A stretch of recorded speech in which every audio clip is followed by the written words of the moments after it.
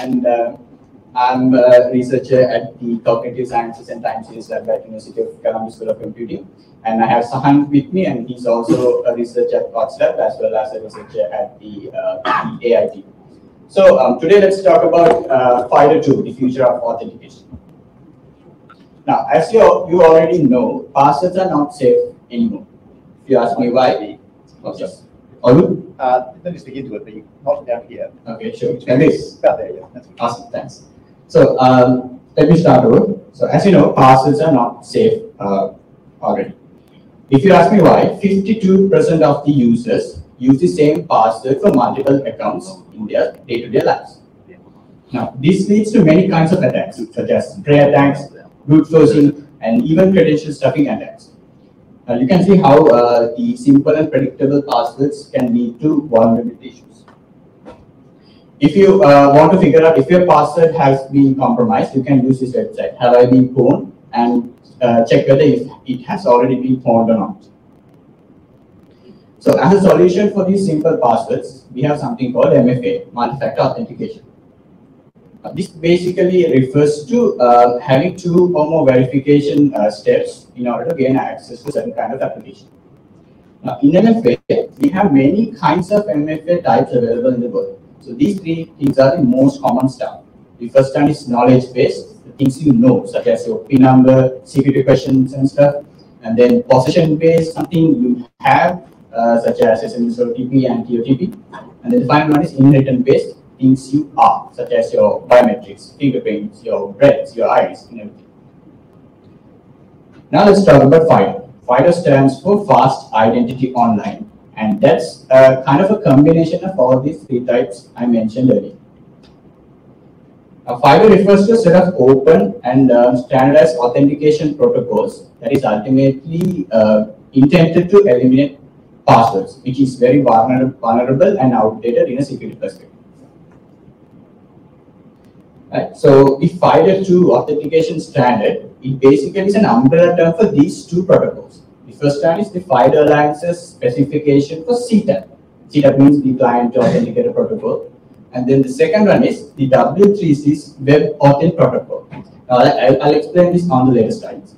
So FIDO uh, comes up with these two, uh, the combination of these three protocols, and then you have. Right, so this is how actually FIDO works. Now you have the WebAuthn and CTAP protocols side by side. Now, first of all, we have the client platform. This basically refers to your laptop or your PC and everything. And then we have something called an authenticator. The authenticator can be external or maybe internal. So an internal authenticator might be your uh, Touch ID on your iPad or MacBook, and an external authenticator can be an, something external that you have that you have to plug into your computer. So the CTAP protocol works in between the authenticator and the client platform. It uh, it will be used to communicate between those two platforms using BLE or NFC or Bluetooth uh, or even maybe USB. Now, WebAuthn protocol, uh, you can use that to communicate between your client platform and the relying party. So the party basically refers to some kind of an authentication server on the cloud or your uh, network. The web WebAuthn protocol will communicate between those two and complete your authentication request. Right. So this is an in detail uh, flow of how FIDO works. Since we don't have much time today, I'm not going to explain it. But you can uh, grab a quick photo of this one. Or maybe uh, I'm available around for another few hours. So you can just approach me and ask me and I'm happy to explain all this stuff. Right, so like I said, we have uh, external authenticators and internal authenticators. So Touch ID is an uh, example for an internal authenticator and even Windows Hello and external uh, authenticators, you can have uh, security keys like YubiKeys to put your fingerprints and authenticate, and stuff like that. So ultimately, why FIDO? Why should we use FIDO instead of passwords and all this stuff? So first of all, FIDO is stronger. It's resistant to all these attacks on simple password I mentioned earlier. And it's faster. All you have to do is uh, put your fingerprint or maybe put in your YubiKey and you're good to go. And then it's private and it's convenient, very convenient. Just you have to just use your biometrics to access all your social media platforms or GitHub accounts and everything. and it's supported on very leading browsers and leading softwares, this integration. And then uh, it fits most of the use cases available today's world. And then it's industry back, and obviously most of the organizations are moving on to uh, these kind of FIDO2 and uh, biometrics authentication protocols. And then it's already in the market uh, in leading companies. So how can we integrate this FIDO2 into our existing application? Sahan is here to show you how to uh, integrate this FIDO2 with uh, real-world applications. Thanks. So as Suvin said, the last two points. FIDO2 is industry back and in markets. So where?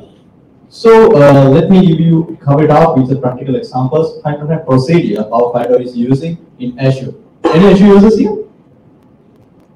All right, cool. So this is kind of a simplified and kind of a very concise way how FIDO is integrating in Azure Active Directory. So starting from the user plug in FIDO2 secret key into their computer, and then as you could see in the flow diagram, and then Windows detect, let's it's Windows device. So it's detect the FIDO security key, and then follows up with Azure AD, it sends it back as a nonce, and then it's configured as a private key, and then it sends it back as a public key, and Azure AD returns as a PRT to enable access to on-premises resources. I'm not going to cover it up as kind of an instinctive way how the process is working. If you're wondering how it's worked in dynamically in the levels, you could reach to me and ask your question if you have. And then, so how do we enable FIDO2 security keys in Azure Active Directory? So uh, first, you have to sign in into your Azure portal and then browse it to Azure Active Directory and then go to security section and the authentication method, you could find a method called authentication method policy. Then the other thing you have to do is, as the method of FIDO security key, you have to public it and enable for all the users or any specific groups you are interested in, the enable FIDO security keys. And yes, that you could go and set the configuration. And what are the other methods available? Obviously, you can use WSO2 Asgardeo. It also provides Azure FIDO2 secret keys. And there are tons of other options available as well in Asgardeo. And what would be the future for FIDO2? So what are the possible research directions and what would be the possible things with FIDO2? So the first thing is the integration with emerging technologies like Internet of Things, obviously machine learning, for allowing seamless and secure authentication across a wide range of devices. And the second is, is supporting with new forms of biometric authentication. Right now, there are many research are going on in the sections of facial recognition, fingerprint recognition, and iris scanning in UI, and providing even greater security and convenience for users. And last, the increased support from hardware and software vendors, making it easier for organizations, starting from Microsoft to other organizations like WSO2 and many organizations currently adapting FIDO2. So for implement and integrate the technology into their system. So uh, that's it from me here. If you have any sort of question, you would like to ask. So actually, we would uh, love to have a conversation with you guys that's focusing on. So if you have any questions, please feel free to ask. Yes, sure. Uh, well, not so much a question, but one reason why I don't enable fingerprints uh, in my devices is because uh, I don't know if you know this, but a few years ago we had a situation where the thief cut off the thumbs Right. uh, and use it to access, uh, I think, the, the, the a, a car or something like that. It sounds like in such an environment, uh, fingerprint authentication is a not a good idea. I don't know.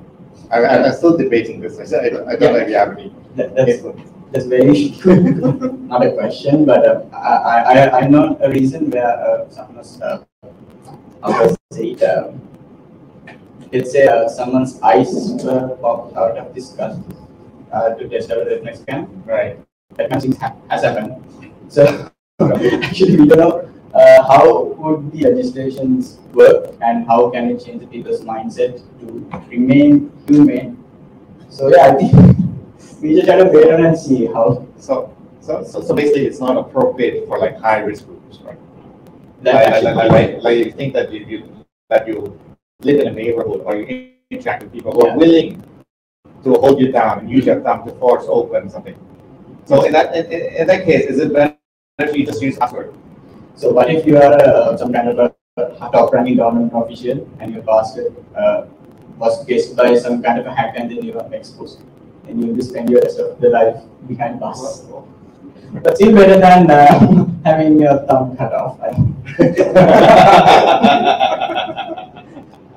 But I have to just uh, wait and see where it goes about that.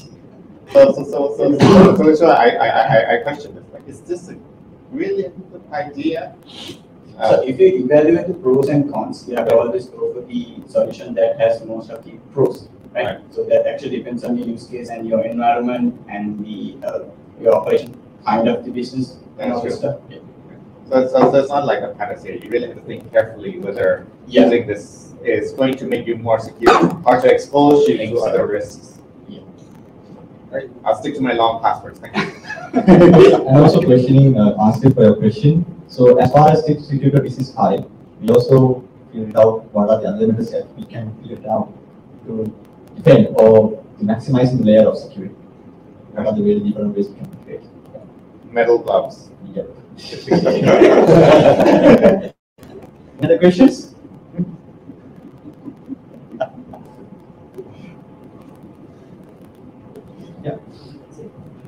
Thanks very much, guys. Uh, yeah, I, I, the question about biometrics is an unsolved one.